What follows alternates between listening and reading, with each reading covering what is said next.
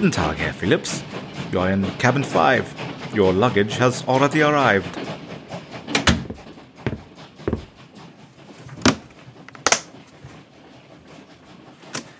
Good morning, Chet.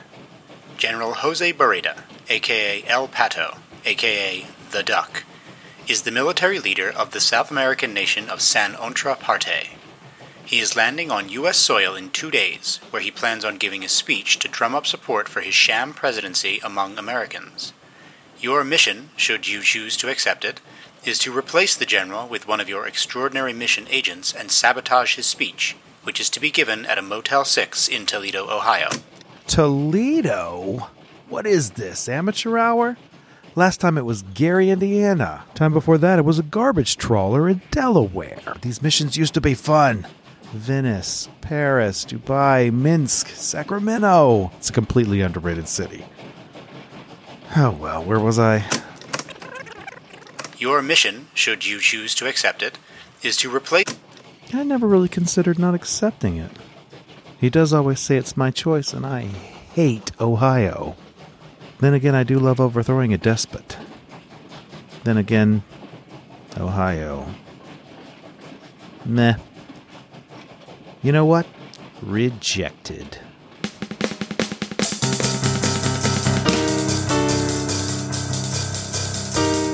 Mission Rejected The Adventures of the Extraordinary Mission Team's Most Secret Agents. The Backups. Tonight's episode Duck and Cover.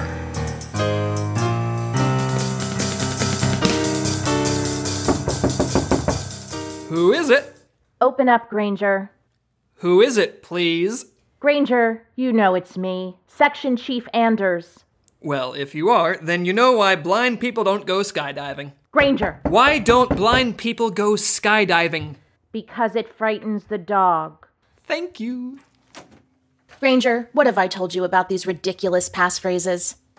Company guidelines clearly state that new passphrases must be issued daily to prove the identity of fellow agents. In the field, Granger. To identify agents in the field, not me, the boss from down the hall. Passphrases are my job, Chief. I'm pretty sure I know what the regulations say. I don't need to use a passphrase every time I want to come in here. What if I just wanted to take you to lunch? Do you want to take me to lunch? No. Oh, good, because I'm not sure what the manual says about lunches between coworkers without a justifiable business purpose. Granger. I assume we'd have to go Dutch. Otherwise, it might be considered a gift. Of course, we'd probably be spending less than $100, which is technically an allowable non gift expenditure. Let me just check the book. Granger. You're right. You're right. We should go Dutch. Better yet, separate checks. Actually, we should probably sit at different tables so we can't be identified as colleagues in case anyone is watching. Granger. Separate restaurants. Skip. Section Chief Anders. Come with me. It's promotion day. God help us.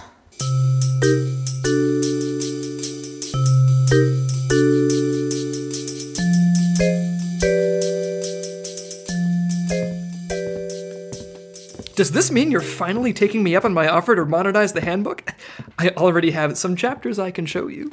Communications agent, third class, Skip Granger, meets secret agent Chet Phillips, leader of, Of the greatest extraordinary missions team this agency has ever known, it is an honor to meet you, sir. Oh, the pleasure is mine, Agent Third Class Granger. I hate to ask, but can I have your autograph? My pleasure, champ. I can't believe I'm meeting the Chet Phillips! Wait, am I meeting the real Chet Phillips? If I am, how's the price of salmon in Okinawa? Too high for my taste, but the grouper is cheap and plentiful. It is him! It is you! Section Chief Anders, I think you are looking at the only field agent who bothers to memorize all of my passphrases. No, I'm looking at the only two. But Agent Kenny died in the fire at that freezer warehouse last June. She's talking about you, sport. I'm tagging you in. For the first time in agency history, Agent Phillips here has declined a mission. That means it falls to the next most senior agent. But that's Anastasia. I'm afraid not. Her body was found this morning. She got trapped in the oven factory overnight and froze to death. That leaves you. Pursuant to your beloved field manual, when a senior agent rejects a mission, it gets passed down the chain of command. When the agency started, that chain was a dozen people deep. But thanks to my incredible track record of both completing missions and coming home alive, I have never once rejected a mission.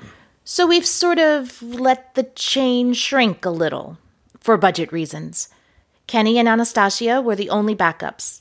You're the next most senior person, and after you, it's the janitor.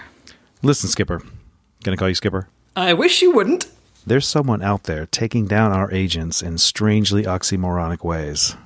This new mission, it's peanuts and kid stuff. You take care of that while I try to snuff out our assassin. Agent Phillips, as I have repeatedly told you, you have no authority to create your own missions.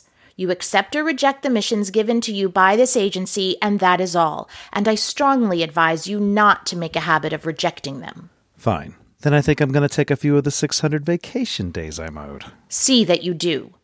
I'm warning you, Phillips, I don't want to hear about any unauthorized action by you or your team. Well, then, you better cover your ears. Would you please stop with the damn pen? What are you doing? Making an exit. Stun grenade! God damn it, Phillips. What do you want filled up? What? What do you want to fill up? I, I told you, I'm not taking you to lunch. Oh, I don't know. When I was maybe 14 at Scouts camp? God, I hate when he does that. Who conceals a stun grenade in his pen? The greatest man who ever lived? No, an asshole.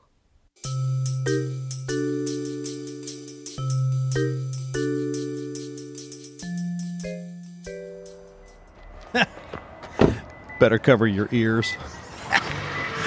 I really defy anyone to come up with better exit lines than me. Attendant, open the gate, please. Taking the Porsche out, eh, Mr. Phillips? Must be heading out on one of those dangerous missions. Not this time, buddy. I'm thinking about taking a long vacation. Wait, how do you know about the missions? Oh, you'd be surprised what a parking garage attendant overhears when everyone thinks he's just watching porn in his little booth. Open the gate, please. Why, just the other day. Open the gate, please. Okay, okay. You seem real stressed. If I could make a recommendation, the missus and I took one of them OB cruises. Weeks out at sea really clears the mind. I, I got a brochure here. Maybe a cruise is just what I need. Yeah, they got this cleanse you can do. Would you just open the gate? What an asshole.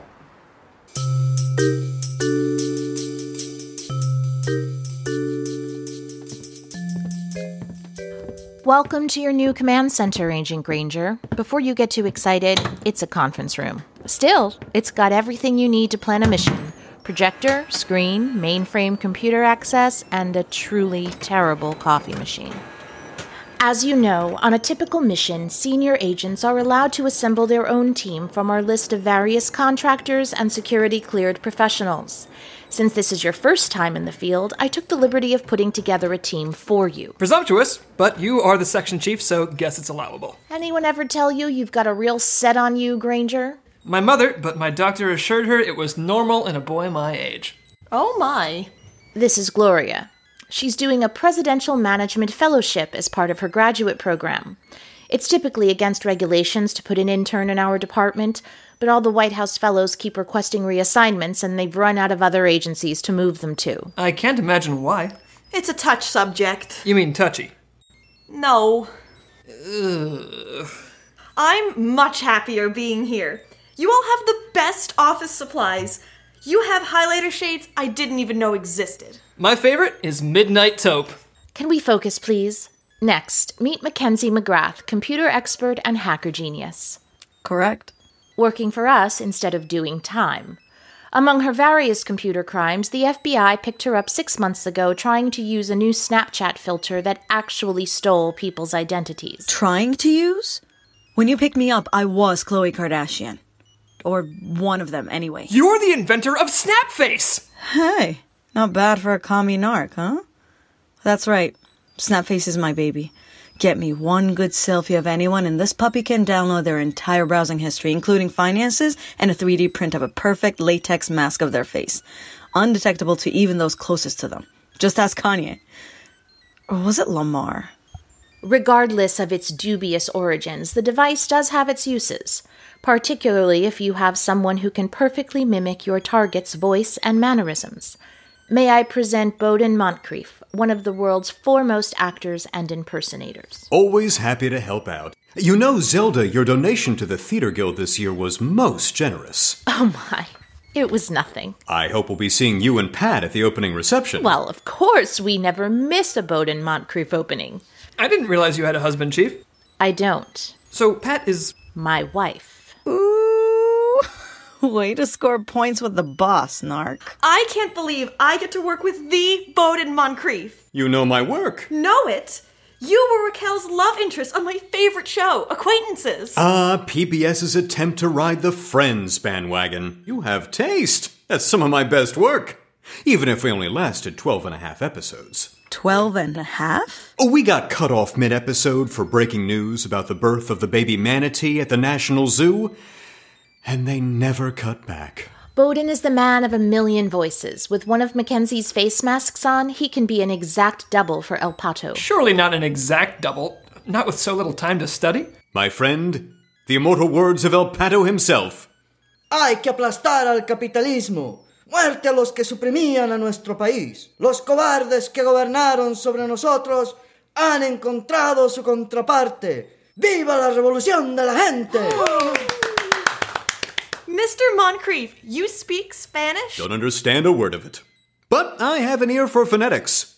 I don't have to understand what I'm saying, I just have to say it. In today's growing Hispanic market, they're always looking for actors who can deliver copy en español. McDonald's. Me encanta. My god, that's the most incredible thing I've ever heard! Thank you. You know, I heard from my agent that they're interested in me for the 12th Angry Man at the Don Rickles Dinner Arena. In Tampa? The same! And you know, the 12th man is the angriest of the bunch. Oh. Here come the Tonys. Uh, They don't give Tonys for dinner theater. Technically, it would be a Burt Reynolds. Sir, I believe that if anyone can get one, it's you. I like him, Zelda. This one's a keeper. Finally, meet Joe the plumber. He's your Let me guess, plumbing expert. electronics. Way to be judgmental there, buddy. I am so, so sorry. I shouldn't have assumed based on your name, sir. Ma'am. Sir. It's ma'am. Sorry, I get flustered when I think I'm being insensitive to race, creed, color, sexual orientation, gender, or sports team affiliation. He's gonna get us killed. This guy's gonna get us killed. Deep breaths there, bud. You can just call me Joe. I'm a Packers fan, and everything else is as the Lord made me. I trained in electric engineering and surveillance with the Army. I got a touch of PTSD after my tour. Found that doing this James Bond crap helped take the edge off. Thank you for your service, Joe. It would be an honor to wear cheese on my head with you one day. Also, I really am a plumber when I'm topside. Take my card. Lowest rates in the city by a mile, I promise you. You unclogged my drain last night. I hope to God you literally mean a drain. This is your team, Granger. Lead them. Here's everything you need to know about El Pato. His speech is just over 24 hours from now. This man cannot gain any support in America. If this speech goes well, our current commander in chief may even invite him to the White House, which again, I stress, cannot happen. I have worked with our peer agencies to create the perfect speech to turn popular opinion against El Pato. Just get in, say those exact words, and get out. Remember, if you get caught or killed, this agency and your government will disavow any knowledge of you or the mission. I'll see you here in 48 hours for the debrief. Good luck. Okay, where do we start? I know. Great, where? Finding someone to notarize my will. You guys want in? Maybe we can get some sort of bulk rate. Well, that's not helpful at all. You're right. What's money when you're dead? Anyway, I'm sure you'll figure this whole mission thing out. Wait, where are you going? I gotta make a house call. Tinder date. I have to put myself on tape for a Viagra commercial. Sit down. Oh, the amount of lines I have to memorize is outrageous. The disclaimers alone are going to keep me up all night. Sit down right now, or. or I'll use this. What do you got there? Just a little something I took off my friend, Chet Phillips. Oh, somebody put his big boy pants on this morning. This is Liza backstage at Carson all over again. I mean it, I'll do it. Oh, shit. Is that a. Stun grenade! It's another Fallujah. Get down. Cover, cover, cover. Mr. Montcrief, cover your ears! Get the ears, my face! Actually, it's just my pen. But now that I have your attention, will you please sit down? Well played. The great Jerry Robbins would have admired your commitment. Okay, Skip, what's the plan? El Pato, like so many dictators, presents himself as a man of the people. He has built a reputation for being a staunch anti capitalist, but privately loves nothing more than a Starbucks coffee and a fast food cheeseburger. While his people starve, you gotta let me clean out this guy's bank account. Does it say if he likes fries with his burger? No, it doesn't say. Hmm, pity. I like to have a complete backstory when I take on a character. I eat what he eats, I drink what he drinks, I love what he loves. Okay, know your enemy is all well and good, but I like battle plans. How are we going to get at this guy? Well, it says here that prior to giving his speech, the general will be staying in room 42 of the motel. We're going to need to get in there so that Mackenzie can get a photo of him and make the mask for Bowden. Let's not get too friendly. I'd prefer if you just call me McGrath. Okay, noted. Ms. McGrath. What do you mean, Ms.? Mrs.? Strike two. It's Doctor. Oh, oh, I am so sorry. I, I assumed. Again, forgive me. Doctor, Doctor, Dr. McGrath. God, you're too easy. Ah, I barely finished college. I was so bored. Just call me McGrath. We're cool, Skip. Actually, I prefer Agent. So what's the plan, Skip? As I was saying, McGrath needs to get a photo of the general to make a mask. Actually, I don't need to be in the room. If you have my app on your phone, you can just grab a clear picture of him and I can print out the mask from an adjoining room. Joe, maybe you could pose as a repairman to get into the room? Can't do it. If I understand this brief correctly, we gotta make sure the general's speech makes him look bad. I'll have to make sure whatever is on the teleprompter gets overwritten. I can do that from my van. I have all the equipment I need, but I'll have to park out of sight. Why don't you leave getting the photo to me? I'm going to need his clothes anyway. How are you going to get in the room? He's sure to be heavily guarded. You ever see Eastwood and Escape from Alcatraz? Nope. Me neither. But Clint's a friend of mine, and if there's one thing he's taught me, it's look tough, squint your eyes, clench your jaw, and nobody will mess with you. I'll get in that motel room all right. I'll get in there. Punk. I got chills. It's like I was in the room with Clint himself. We're gonna die.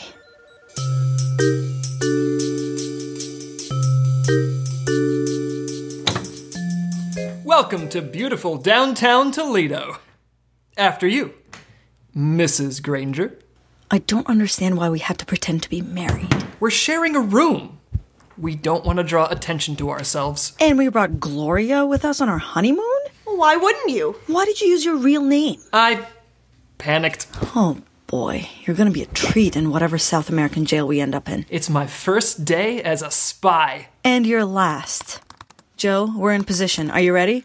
Roger that. I'll be ready to override the teleprompter as soon as Bowden takes the stage. Make sure you have my lines up on that screen, Joe. I didn't have time to get off book. I was up all night memorizing my audition piece. I hate not knowing my lines, but Big Pharma pays better than Big Brother. Bowden, are you sure you're ready to go on? If there's one thing you should know about me, I'm always ready to go on. I remember Lee Strasberg wrote.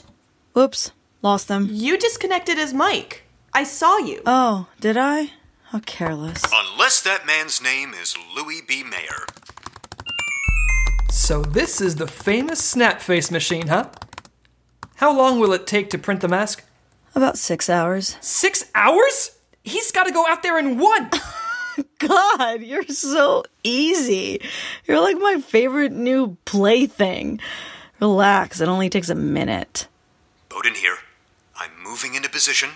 Monitor this channel. Roger that. Good luck. Okay, Bowden. I'm monitoring. Remember, I need a clear, full frontal shot. That's just what they told me on the set of Boogie Nights. You were in Boogie Nights? I was Wahlberg's stuntman. There's no stunts in that movie. Oh, God. Damn straight. Quiet now. I'm at the door. Stop. Who are you? This is a restricted area. I'm the man in charge here. The general is not to be disturbed. Not even for White Castle. What is the meaning of this disturbance? Do I. Do I smell cheeseburgers? My God, you're short. God damn, he's in. He already got the picture. We'll have a mask in a matter of moments. How are you going to get it to Bowden? I don't. The intern does. Me? Housekeeping. But. Mints!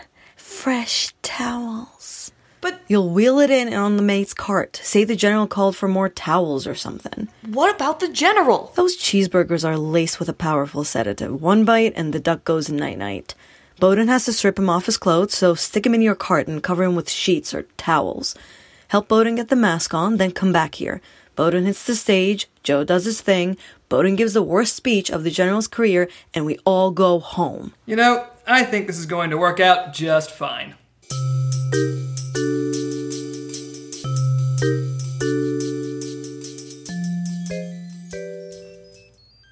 That could not have gone worse. Oh, sure, it could have. I could be dead. I'm not seeing how that's worse. What the hell happened out there? Incoming. Get down, get down. No, Joe, shh. It's okay, we're not in Iraq. Section Chief Anders. Not a word. Not one word until you explain this. We go now to the Little San Otra Parte neighborhood of Toledo, Ohio, where General Jose Berada, better known as the Duck, is set to make his first major address. And here comes the man of the hour now. Connie, is it just me, or is the general a good foot taller than when last we saw him? I have to agree, Steve. He's famous for his diminutive stature. Perhaps he's wearing a new platform shoe? Ah, he found the mic. Amigos, El Pato looking a little uncomfortable here, Connie. Yes, he's scanning the crowd now. Not exactly sure what he's waiting for. amigos, They certainly liked that. Such a friendly people. les digo, I say to you, les digo, I say to you, no tome Viagra si tiene dolores en do el not pecho o use Viagra if you Si have a heart dura más de condition. horas, If your erection lasts more than four hours, consult a doctor immediately. An unexpected turn here, Connie, as El Pato apparently endorses an erectile dysfunction medication. Most unusual for a staunch anti capitalist to do a commercial.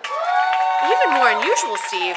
Here comes Khloe Kardashian up to the podium, and now she's escorting El Pato off the stage and into what appears to be a plumber's van. Boy, the crowd is really loving this. Viagra? I gotta take the blame for this one, Chief. I was supposed to rig the teleprompter with the revised speech for Bowden to read, but when we got there, they were using those newfangled tablets, and I didn't have the right cord. I swear they change those dongles every year just to make my job harder. To look on the bright side, I think we have to really commend Bowden on his improv skills. I had that cop beat down cold in two languages. My God, I'm good. Can't believe I didn't book that ad campaign. I'm sure they're regretting it now. Damn straight. And the cameo from Khloe Kardashian? Well, I couldn't just leave him up there rambling about what to do when blood rushes out of your head. She was the only face still in the snap face memory. Again, on the bright side, the crowd loved it! And I made a $100 in tips for doing turn down service. Yes, well, speaking of bright sides, El Pato is no longer polling well among the people of San Parte and is currently hiding in exile. Khloe Kardashian, however, has a 60% chance of being their next president. The world does need strong women, ma'am. I think we should roll with it. You put the real Khloe in some bunker and then disguise as her, I get elected president of San Parte. You get an inside woman in South America, and the world is relieved of one Kardashian. I like your ambition, McGrath, but strictly speaking, it's against company policy to work for another government. You know what? I've changed my mind about this work release thing. I'd like to go back to jail, please. No one's going anywhere. I've got at least three global situations brewing, and Chet Phillips just put in for another week of vacation. That means you're my team. yes! Christ. Whether you like it or not.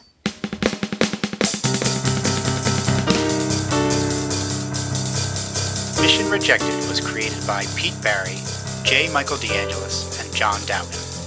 This episode was written and directed by J. Michael DeAngelis. It starred Chris Klaniecki as Skip Granger, Nazli Sarpkaya as Mackenzie McGrath, Dave Stanger as Bowden Montcrief, Paige Klaniecki as Gloria, Faith Dowgin as Section Chief Anders, with Kirk White as Chet Phillips, and Kevin McGrath as the Mission Voice.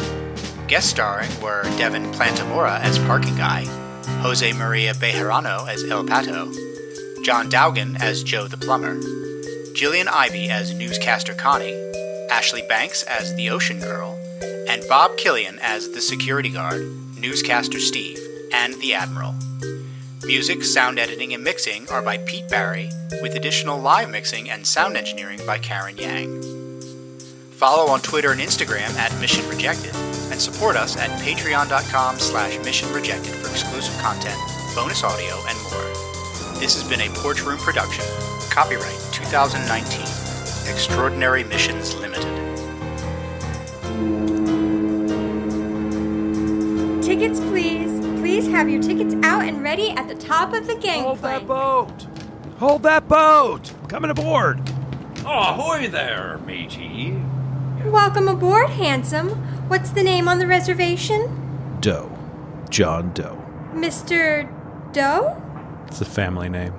Welcome to the Ocean Bureau, Mr. Doe. We set sail for adventure and enlightenment. Enlightenment. Oh, yes, oh, yes. Isn't that right, Trixie? That's right. The Admiral here has changed my life. I just know he's going to change yours. Trixie, why don't you show Mr. Doe to his cabin? In fact, why don't you put him in the suite right next to yours? You look a little pallid, my friend.